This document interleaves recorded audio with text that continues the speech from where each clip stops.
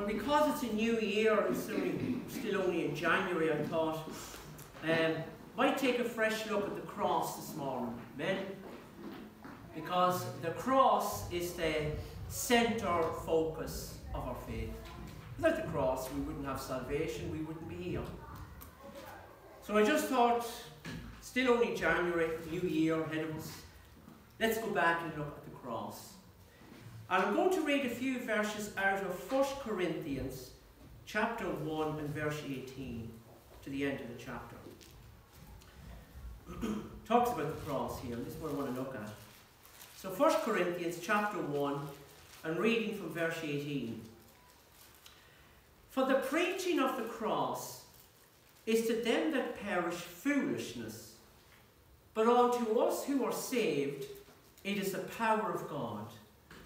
For it is written, I will destroy the wisdom of the wise, and will bring to nothing the understanding of the prudent. Where is the wise? Where is the scribe? Where is the disputer of this world? Had not God made foolish the wisdom of this world?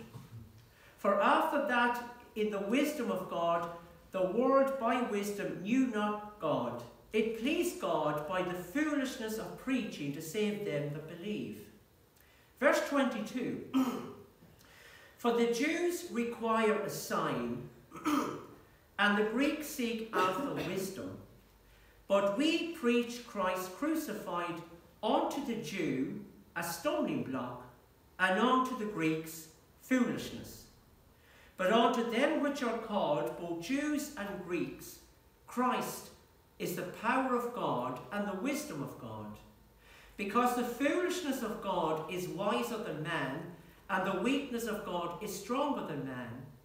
For ye see your calling, brethren, how there not many wise men after the flesh, not many mighty, nor many nobles are called.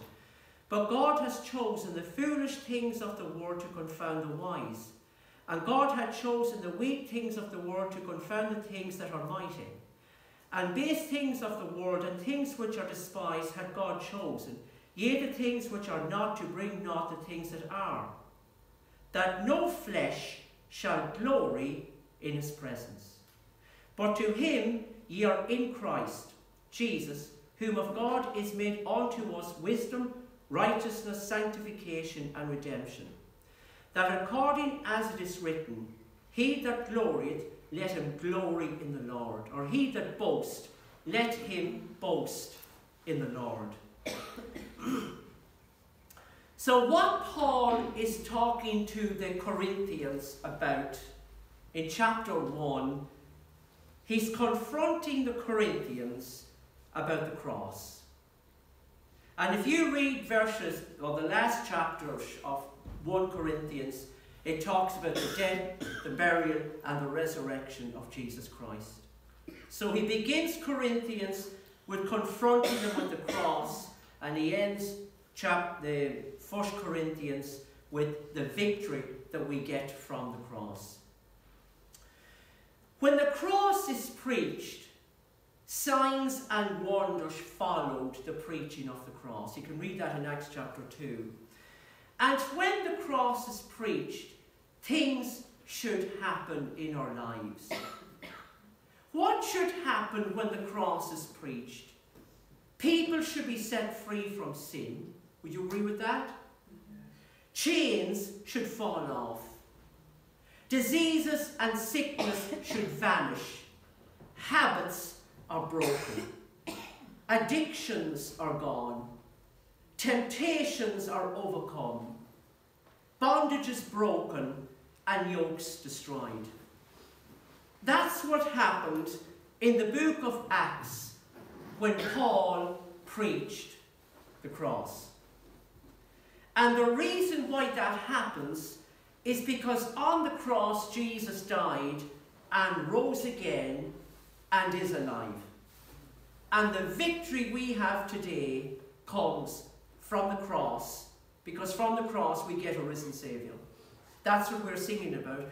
And because Jesus is alive, that gives us the hope and the victory over all these things that try to trap us and bring us down. But Paul says in verse 18, For the preaching of the cross is to them that perish foolishness, but unto us who are saved it is the power of God.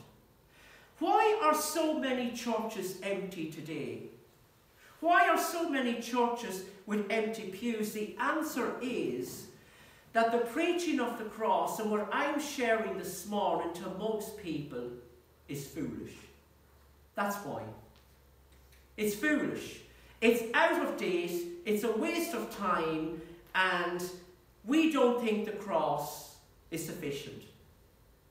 And that is why people have abandoned church, because people don't understand the power of the cross and what it has achieved. And therefore, churches are empty today. But when Paul goes to Corinth, he confronts this, these people with the cross. Let me give you a little bit of background to Corinth. The word Corinth actually means ornament.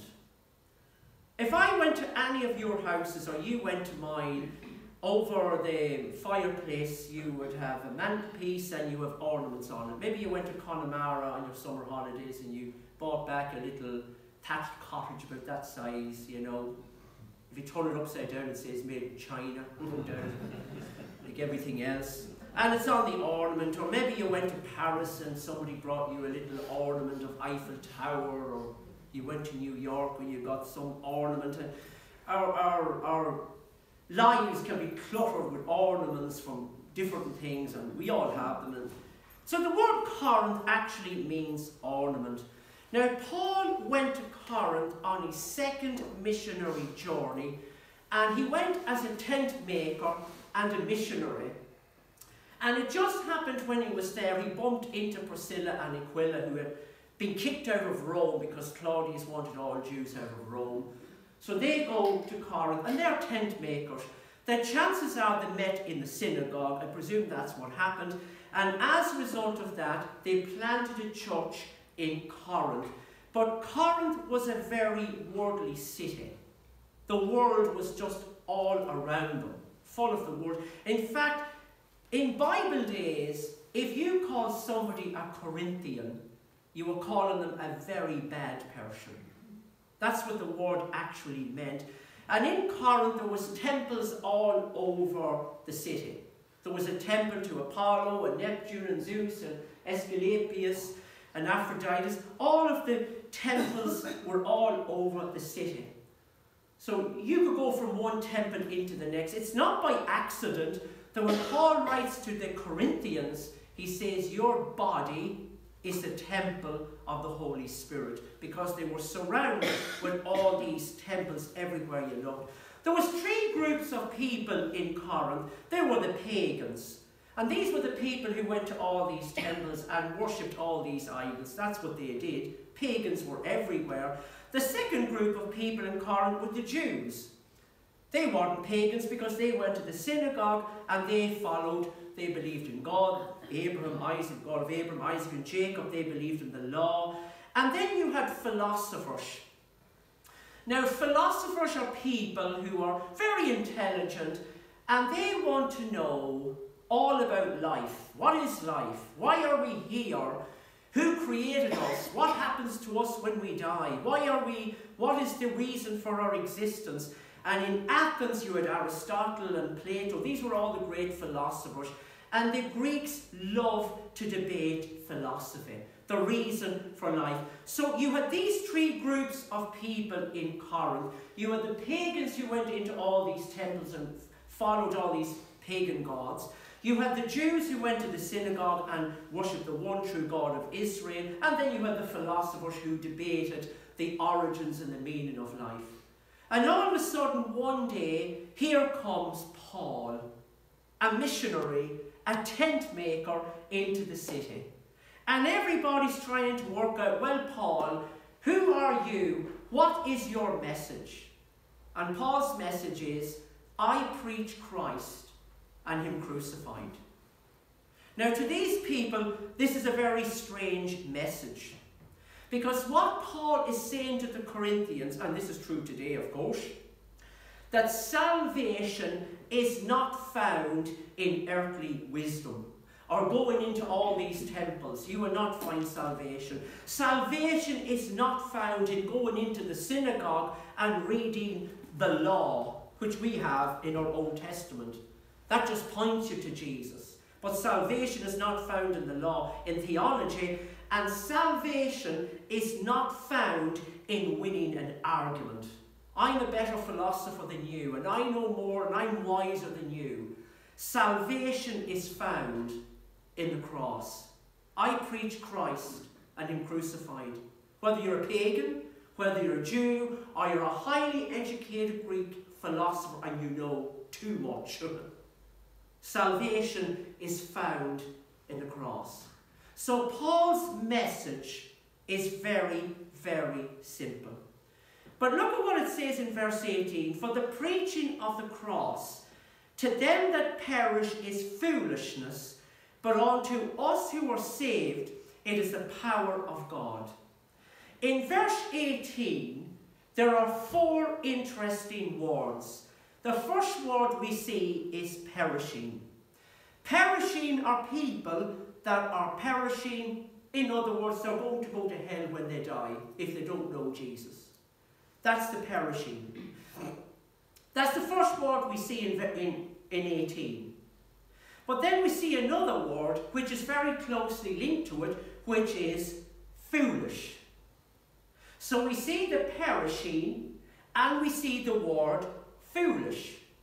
The next thing we see is the power of God and we see the saved. So in that verse, that verse 18 separates everybody in the world. Two groups of people in the world. There is the foolish people who will perish, and there is the saved people who believe in God. That verse separates everything. Whether you're a pagan, whether you're a Jewish rabbi, whether you're a Greek philosopher, that doesn't matter. Are you saved or are you lost? Do you believe in God for salvation or are you believing in some foolish philosophy?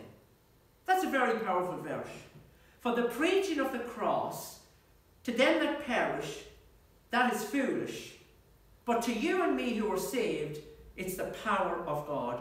But unto us who are saved, it is the power of God. The perishing don't understand the cross. That's why these churches aren't full. Because the perishing do not have the Spirit within them to bring them to the cross.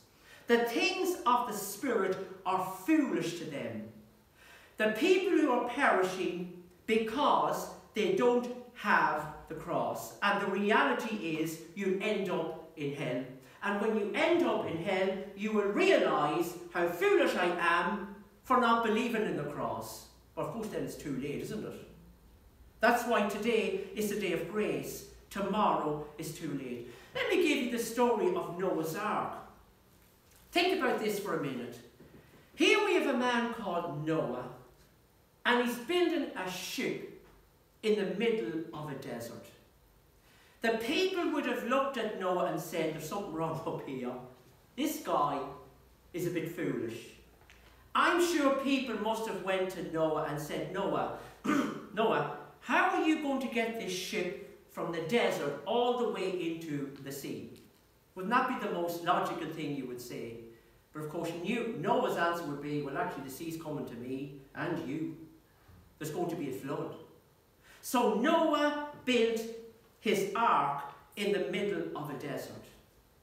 And people must have said, that is foolish. But when Noah and his family went into that ark and the door was closed and it began to rain, they were in the ark, they, Noah and his family were saved, but the people outside had perished. It was too late. So, what, if you read verse 18, you could say this For the building of Noah's ark to them that perish is foolish but unto Noah and his family it is the power of God to save them. That's, that's how you could read verse 18 if you want to put in to Noah's Ark story. Now, as I said, in Corinth, at the time of Paul, you had these people. Look at verse 20. It says, Where is the wise? Where is the scribe? Where is their disputer or the philosopher? Had not God made foolish the wisdom of this world? Now, here we have three groups of people. First of all, we have the wise people. People who are wise. You ever hear the story of the rich young ruler? He was very wise. He pulled down his barns and he built bigger ones so he could store more grain. That was very wise, very clever. He's doing really, really well. He's prospering. He's doing what he thinks is a great job. But what the rich young ruler didn't realise was he mistaked his Bible for his bank account. A lot of people do that today. Never get them mixed up. That's where he went wrong. He mixed up the two. He was wise in earthly wisdom, but he was foolish on the long term because he lost his soul. So, what Paul is saying to the Corinthians, where are these wise people in Corinth? The second group of people is the scribes. He's, he talks about the scribes. These were Jews in the synagogue who, a scribe wasn't just somebody who wrote down the law and kept the old, These were like counselors. You would go to the scribes in a matter of debate over uh, if there was a problem with the law, if you had a problem with your other neighbour. They were like judges. Where are these people? They know the law, they understand the law, they are trying to keep the law, but they don't know Jesus. And they don't want to know anything about the cross. We don't want to know anything about that. And then he says, Where is the philosophers? These are people who like to debate all about God. They like to talk about God, they like to have this big intellectual conversation about God, but they don't actually know God. And what Paul is saying to these three groups of people the wise earthly man, the scribes, and the philosophers what Paul is saying is God has made foolish your wisdom compared to the cross. So these are all very intelligent people, but they don't understand the cross. Let me read you verses 22 and 23. He continues on this story. In verse 22, he says, The Jews require a sign, and the Greeks seek for wisdom. Here comes Paul. But we preach Christ crucified.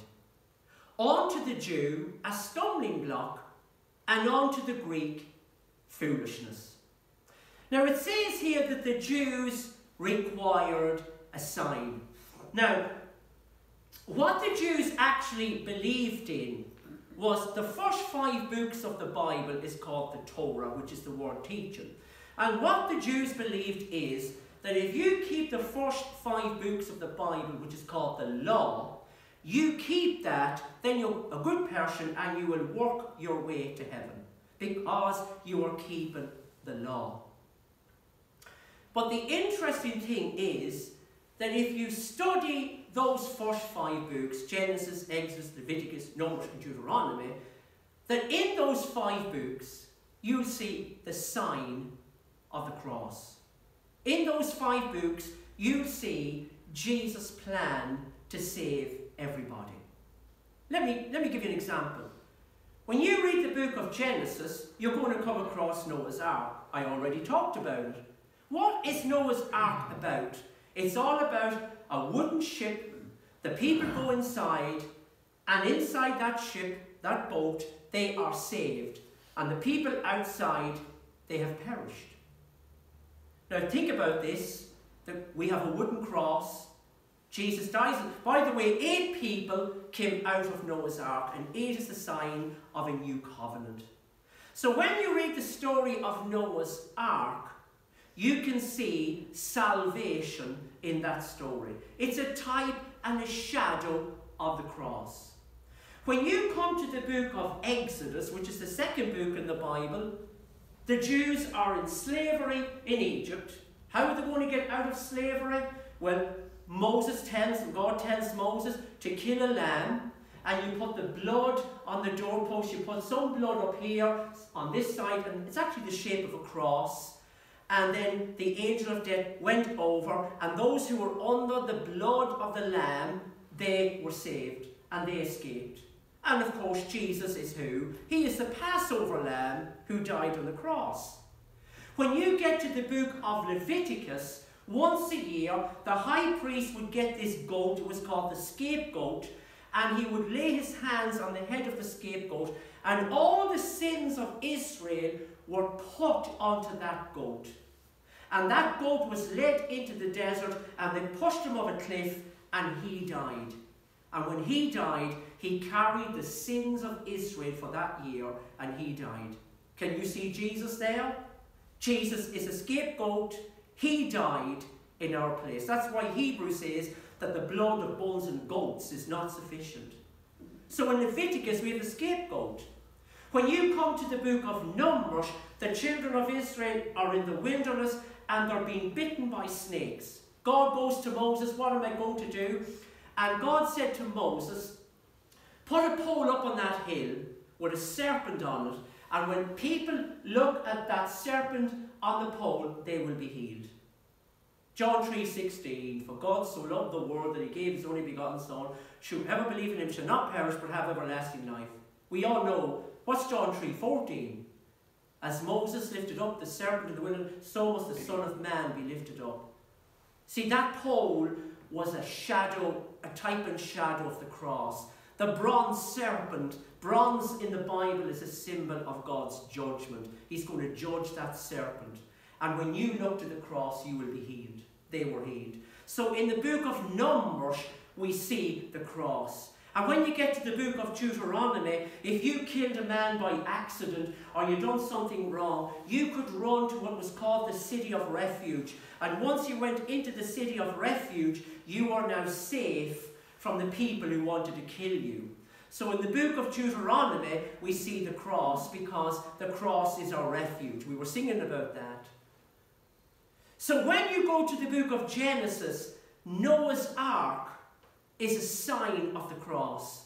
When you go to the book of Exodus, the Passover lamb is a sign of the cross. When you go to the book of Leviticus, the scapegoat was pointing a sign to the cross. In the book of Numbers, that serpent on the pole was a sign of the cross. And in the book of Deuteronomy, the city of refuge, once you got into that city, you were safe. Once you come to the cross, you were safe. You're free from your sins. It was a sign of the cross. So the Jews demand a sign. That's what it says here in verse 22. They require a sign. Paul is telling the Jews, you've got the sign. Read your Bible. It's all about Jesus. When Jesus was on this earth, they said to Jesus, we will follow you if you give us a sign, give us a sign, Jesus, and we'll follow you. What did Jesus say? The only sign you're going to get is the sign of Jonah, who was in the belly of a whale for three days and three nights. That sign was already there, but they didn't read their Bibles properly. They read the story of Jonah. Do you know what Jonah said when he was in the belly of a whale in Sheol? He said these words Salvation comes from the Lord. Wow. You Jews, Paul is saying to the Corinthians in the synagogue, you have all the signs that you need. But they didn't accept them.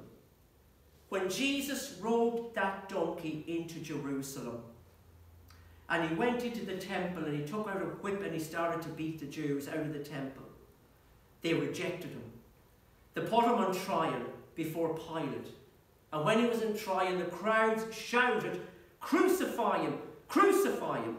What they actually said in Aramaic was this. I know crucify him, that's our English.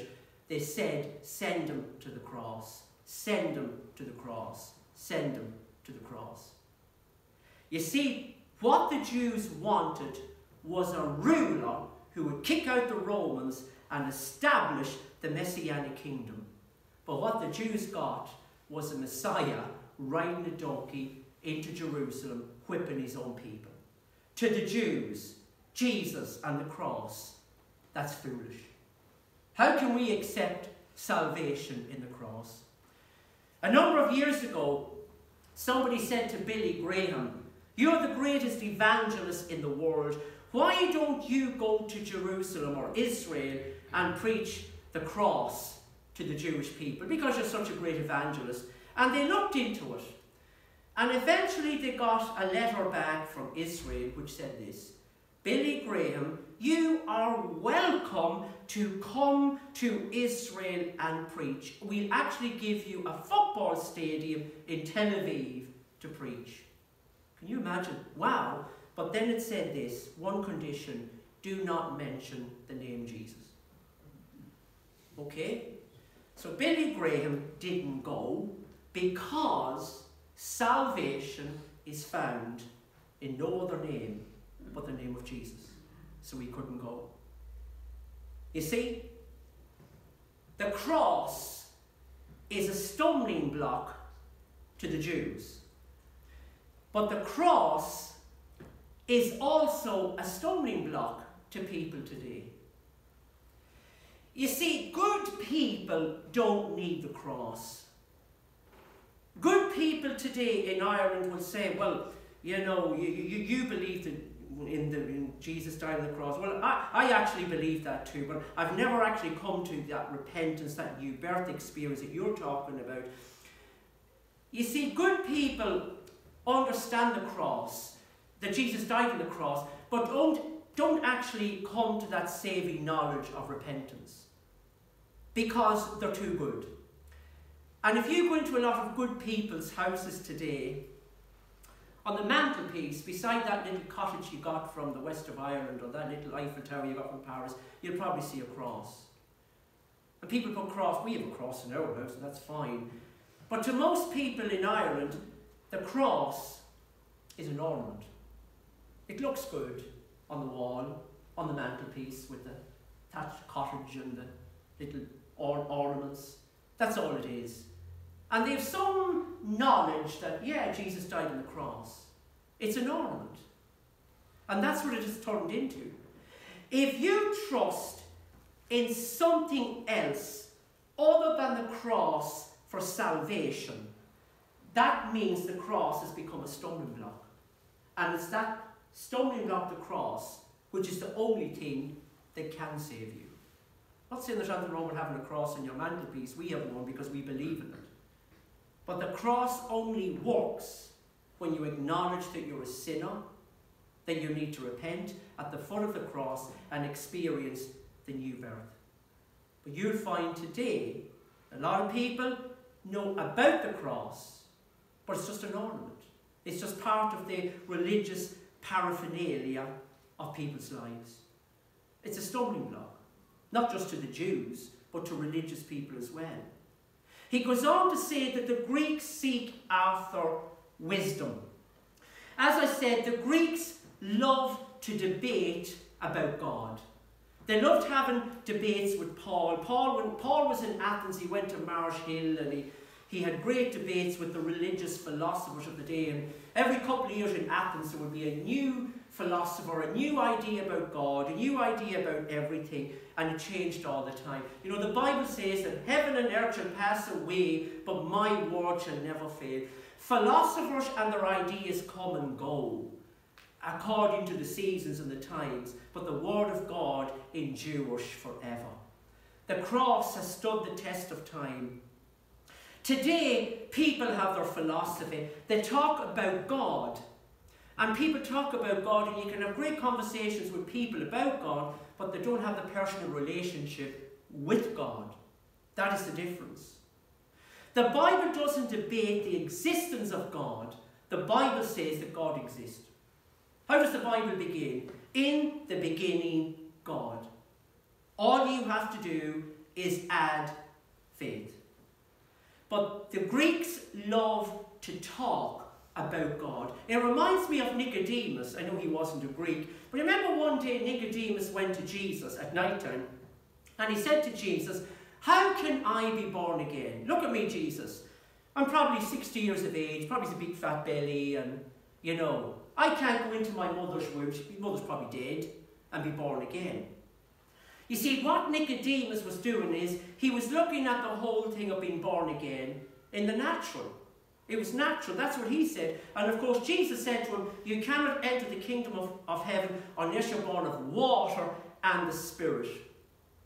And Jesus went on to say these I have spoken to you about earthly things, and you don't understand.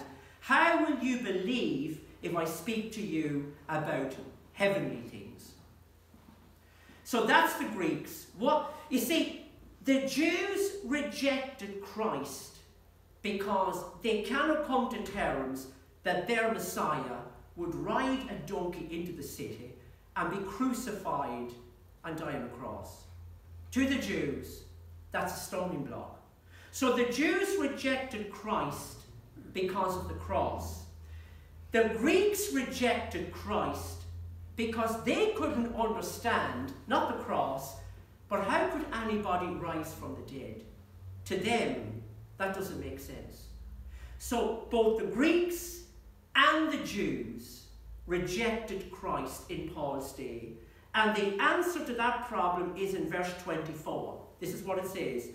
But unto them which are called, both Jews and Greeks, Christ is the power of God and the wisdom of God. So what Paul is saying to Jews and Greeks, that you both need to understand what the cross is and who God is. What Jesus has done on that cross. Now, verses 26 to 31, Paul goes on to say, verse 27, But God has chosen the foolish things of the world to confront the wise, and God has chosen the weak things of the world to confound the things that are mighty. And then he gives a list of the people that he chose. God chose noble born people. These are people of high standard in the society. But God also cho chose foolish people. He chose weak people, lowly people, and despised people. Look at the people that God has chosen to reveal the cross. And you and me are in that category. And when you read the Bible, you would be surprised at the sort of people that God has chosen to reveal the message of the cross and salvation. Think of Moses. He's abandoned. There he is floating down the River Nile, picked up by Pharaoh's daughter, and becomes the, I was going to say the hero, but the leader in the story of Exodus. You think of somebody like David, who's the seventh son of Jesse, you know, the, the least of all his sons, only a shepherd boy, and yet God raised up David to fight Goliath, and you know the story of David and Goliath, and David becomes Israel's greatest king. You think of somebody like Ruth. By the way, Ruth was a Moabite. She was a pagan. She was not a Jew. she is living in Moab, which is a very pagan country. And to make a long story short, she has to go back with her family, Naomi, to Bethlehem. She marries Boaz and she becomes part of the royal line. And from Boaz and Ruth would eventually come Jesus. Who'd have thought that Ruth? You think of somebody like Jacob, who was a trickster, a bit of a gangster. There's plenty of them around today, isn't there? But the Bible says, I'm not ashamed to call him Israel. He changed his name. You think of Rahab the prostitute, a prostitute. She believed God and God used her. You think of Gideon, that poor, timid little farmer, and he becomes a leader in Israel. Or you think of Peter, who denied Jesus three times, and on the day of Pentecost he preached, and 3,000 people got saved. What have these people all got in common? They all had faith. They all believed somewhere along the line that there's a God, that there's the cross, that there's redemption, that there's more, that it's not foolish to live your life for God. And this chapter ends, or the, comes to an end in verse 29. That God did all this so that no flesh shall glory in my presence. When you look at the lives of all those people and how, how messed up their lives were, God turned their lives right around so that they could not say, I did it in my strength. I did it because I'm great. I did it because I'm some wonderful, gifted person. All of these people, Moses, David, Ruth, Jacob, Rahab, there's more, Peter, they all had to give the glory to God because in themselves they had nothing to give. Paul is saying to the Corinthian church, his message is very, very simple. I like reading that verse again where it says, verse 23, But we preach Christ crucified. That's Paul's message to Corinth, and that's my message to the Cootehill Christian Fellowship today. I want to preach Christ crucified. There was a church in England, you might have heard this story before, I don't know how true it is, but it's an interesting story. And on the wall outside, they had a sign up We preach Christ crucified, which is 1 Corinthians, verse 22. But as the years went by, ivy grew over the word crucified. And when you read the sign, it said, We preach Christ. But as time went by, the word Christ was covered at ivy. And all of a sudden, you go to this church, we preach. We preach prosperity. We preach how to be happy. We preach a message that makes everyone happy and joy. We don't preach Christ. We don't preach Christ crucified. If you don't, you're getting into very, very dangerous territory. Paul was not highly educated. He spoke ordinary, common, Koine Greek. But his message was very simple. What is the cross? What is Christ crucified? What does that mean? Three things.